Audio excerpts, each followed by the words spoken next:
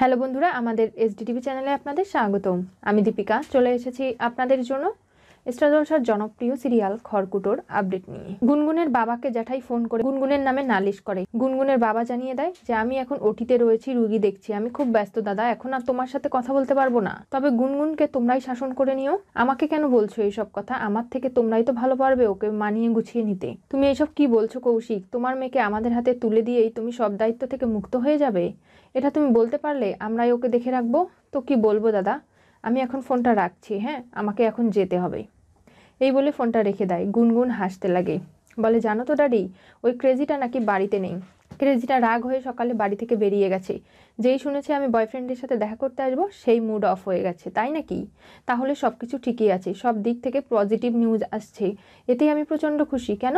তুমি এখানে পজিটিভ কি দেখলে? তুমি সেটা বুঝতে পারবে না, গুনগুন।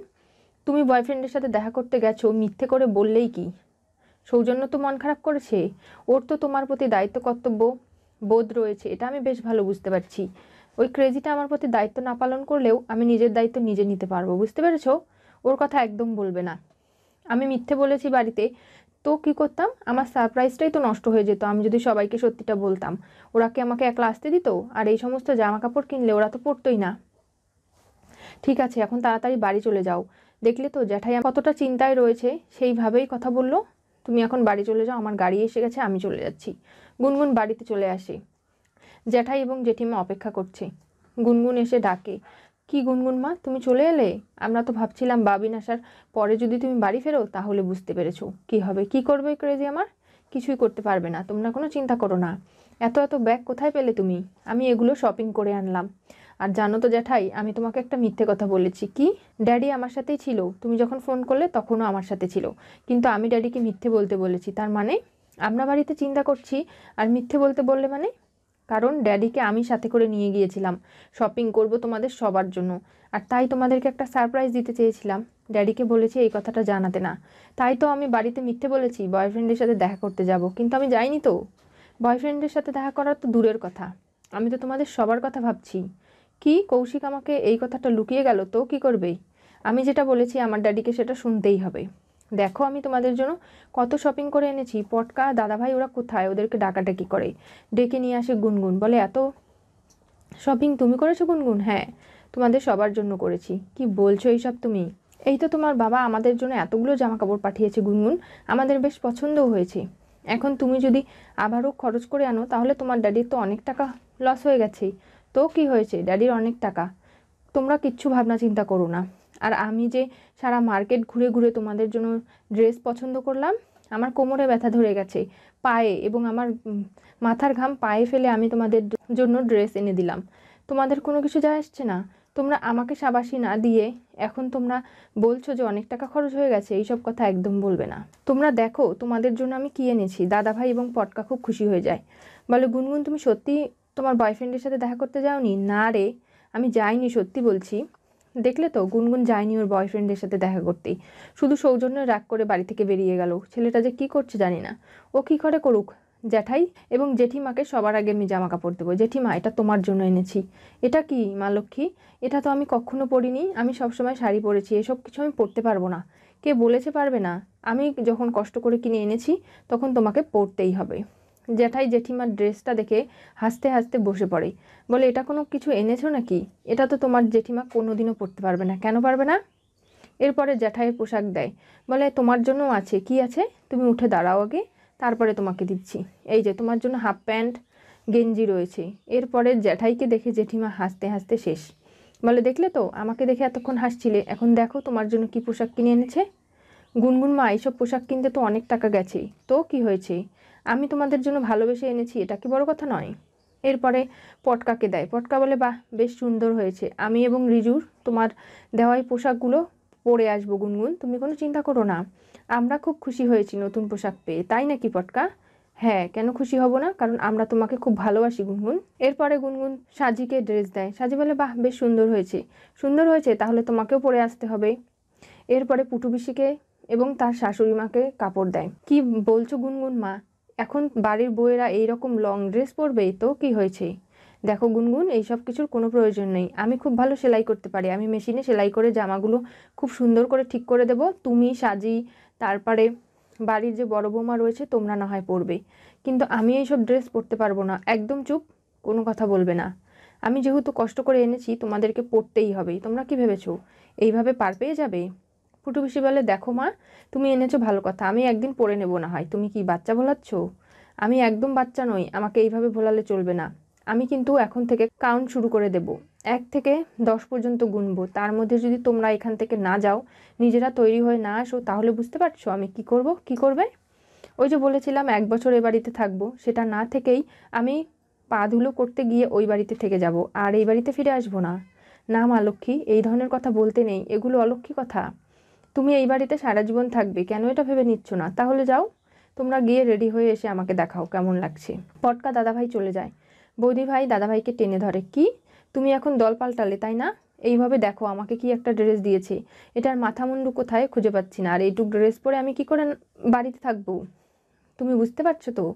আর তুমি চললে ড্রেস পরতে, তাই না? তোমাকে আমি ছাড়বো না।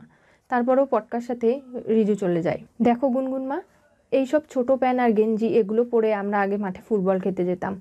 আমি তো এখন আর ছোট নেই। এখন এইসব ড্রেস কি করে পরবো? আমি অত কথা জানি না, জ্যাঠাই। তুমি পরবে কি না সেটা বলো। তা না হলে আমার কিন্তু সিদ্ধান্ত একটাই থাকবে। আমি ব্যাগপত্র গুছিয়ে চলে যাব। কি করছ গুনগুন? এইভাবে এইসব কথা বলতে নেই। তুমি এই বাড়িতে থাকো, আমরা যাচ্ছি, যাও। বউ, তুমি রেডি হয়ে এসো। আর ছোট বৌমা এবং পুটু, তোরা সবাই যা। গিয়ে জামা কাপড় পরে গুনগুনকে দেখা। তা না হলে কিন্তু থামবে না। শুধু দেখালেই হবে না? যতক্ষণ পর্যন্ত ক্রেজি এবং বাবা বাড়িতে ফিরে না আসছে, ততক্ষণ পর্যন্ত পরে থাকতে হবে। কারণ ওরা ফিরে এলে ওদেরকেও তো আমি জামা কাপড় পরাবো। ওদের জন্য আমি নতুন জামা এনেছি। কি বলছো গুনগুন? হ্যাঁ ঠিকই বলছি। এরপরে গুনগুন রেগে গেলে সবাই যে যার মতো জামা কাপড় পরতে যায়। সবাই জামা কাপড় পরে চলে আসে। এরপরে সবার আগে রিজু এবং পটকা চলে আসে। পটকা এবং রিজুকে দেখে বলছে, খুব সুন্দর লাগছে তোমাদের। একদম খুব সুন্দর লাগছে, সত্যি বলছি। বৌদি ভাই আর তার শাশুড়ি মা দুজনে গামছার নিচে লুকিয়ে পড়েছে। এটা কি হ্যাঁ? ড্রেসের সাথে গামছা দাও বলছি, কেড়ে নেয় গুনগুন। কেড়ে নিয়ে নিজের গলায় ঝুলিয়ে রাখে গামছাটা। আর বলে, বৌদি ভাই, সোজা হয়ে দাঁড়াও দেখি, তোমার ড্রেসটার ফিটিং কেমন হয়েছে? বাহ, বেশ সুন্দর লাগছে। মা, তোমারটা দেখি? হ্যাঁ সুন্দর হয়েছে ফিটিং তোমাকে বাস, বেশ সুন্দর তো লাগছে। পুটু বেশি তুমি সামনে এগিয়ে আসো। তুমি কেন পিছনে দাঁড়িয়ে রয়েছো? তোমাকে কিন্তু একদম পিছনে মানাচ্ছে না, আমি দেখতে চাই তোমাকে কেমন লাগছে। ফুটু পিসি এগিয়ে আসে। জ্যাঠাই, তোমাকে কিন্তু বেশ সুন্দর লাগছে। প্যান্টটা তোমার ফিটিং হয়েছে তো? না, একটু টেনে ধরে রাখতে হচ্ছে, বেশি একটা ফিটিং হয়নি। আর জেঠিমা, তোমাকে কিন্তু বেশ সুন্দর লাগছে। সবাইকে গুনগুনের খুব ভালো লেগে যায়। সবার মিলে গুনগুন যে এত বড় একটা সারপ্রাইজ দিতে পারল, সেটা ভেবেই গুনগুন অবাক। গুনগুনের শাশুড়ি মা বলে, "এ, গুনগুন পাগলের সাথে থেকে আমরাও পাগল হয়ে যাব। দেখতে পাচ্ছ তো, সবাইকে কীরকম সারপ্রাইজ দিল? বাড়িতে বয়ফ্রেন্ডের সাথে দেখা করতে যাবে মিথ্যে বলে। এরই মধ্যে ভজনও বাড়িতে চলে এসেছে। ভজনকেও নতুন জামা কাপড় দেবে। ভজন প্রথমে খুশি হয়ে যায়, তারপরে দেখতে পারে তার জামা কাপড়ের অবস্থা।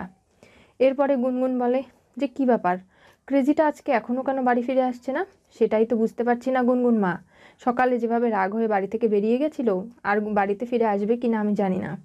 আর সৌজন্য কিন্তু প্রচণ্ড অভিমান করেছে। এখন দেখি কতক্ষণে বাড়িতে ফিরে আসে।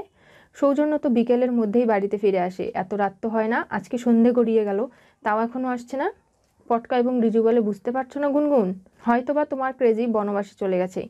তুমি বয়ফ্রেন্ডের সাথে দেখা করতে গেছো, সেই দুঃখটা মেনে নিতে পারেনি তাই। এরপরেই গুনগুন গলা ফাটিয়ে চিৎকার করে কান্নাকাটি শুরু করে দেয়। সবাই মিলে গুনগুনকে বুঝিয়ে পাচ্ছে না। কেন ক্রেজি বাড়িতে ফিরে আসেনি? নিশ্চয়ই অনন্যাদির কাছেই রয়েছে। এই কারণে ক্রেজি বাড়িতে ফিরে আসেনি। আর ক্রেজি বাড়িতে ফিরে আসেনি, রাত হয়ে গেছে অনেকটা। গুনগুন চিন্তায়, টেনশনে, চিৎকার করে কান্নাকাটি শুরু করে দিয়েছে। এরপরে সৌজন্য বাড়ি ফিরে এসে যখন জানতে পারবে যে গুনগুন আসলে বয়ফ্রেন্ডের কাছে যায়নি, বাড়ির সবার জন্য আধুনিক পোশাক নিয়ে আসতে গেছে এবং সেগুলো সবাইকে পরিয়েও ছেড়েছে। এরপরে সৌজন্য কি ভাববে? সবাইকে কিন্তু গুনগুন ব্ল্যাকমেল করে। বলে, তোমরা যখন আমাকে বিয়ের পরে বলেছ যে শাড়ি পরে থাকতে হবে, মান সম্মানের ব্যাপার, পাড়া প্রতিবেশীরা কি বলবে, আমি কিন্তু পড়েছি।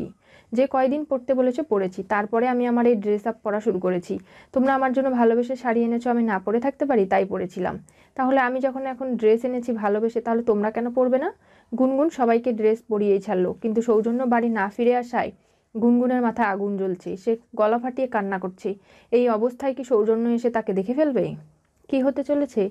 খড়কুটো সিরিয়ালের পরবর্তী টুইস্টে সৌজন্য বাড়ি রাতে না ফেরায় গুনগুন গলা ফাটিয়ে কান্না জুড়ে দিল। সৌজন্য অনন্যার কাছে আছে ভেবে। কারণ সৌজন্য বলে গিয়েছিল যে গুনগুনকে যে তুমি যদি আমার কথা না শোনো, লেখাপড়া মন দিয়ে না করো, তাহলে আমি কিন্তু তোমার ওই অনন্যা দিদির ওখানে ইনস্টিটিউশনেই থেকে যাব। তুমি বাড়িতে থাকবে। মাস কা মাস, তিন মাস, ছয় মাস, তারও তুমি, তারপরেও তুমি আমার দেখা একদম পাবে না, বুঝতে পেরেছ? সেই কথাটা গুনগুনের মাথায় ঢুকে গেছে। গুনগুন এখন ভাবছে হয়তো সৌজন্য বাড়িতে ফিরছে না, রাত হয়ে গেছে, তার কারণ সৌজন্য হয়তো ওখানেই রয়েছে অনন্যার কাছে, তাই বাড়ি ফিরে আসছে না। এই জন্য গুনগুন গলা ফাটিয়ে কান্না জুড়ে দিয়েছে। আর গুনগুনকে বাড়ির সবাই অনেক ফোন করেছিল। গুনগুন ইচ্ছে করে ফোনটা রিসিভ করেনি, কারণ সবাইকে এসে সারপ্রাইজ দিতে চেয়েছিল। আসলে সৌজন্য যে ভুল ধারণাটা নিয়ে বাড়ি থেকে বেরিয়ে গেছে গুনগুনের প্রতি, সেই ধারণাটা কি আদৌ ভাঙাতে পারবে গুনগুন? কি হতে চলেছে? এবার সৌজন্য বাড়ি ফিরে এলে? সে সব কিছু জানতে হলে অবশ্যই করে আপনাদেরকে চোখ রাখতে হবে। স্টার জলসার পর্দায় এবং নতুন নতুন আপকামিং টুইস্ট পেতে আমাদের চ্যানেলটিকে অবশ্যই করে সাবস্ক্রাইব করুন লাইক শেয়ার কমেন্ট করতে ভুলবেন না এবং পাশে থাকা বেল বাটনটি অবশ্যই করে ক্লিক করুন।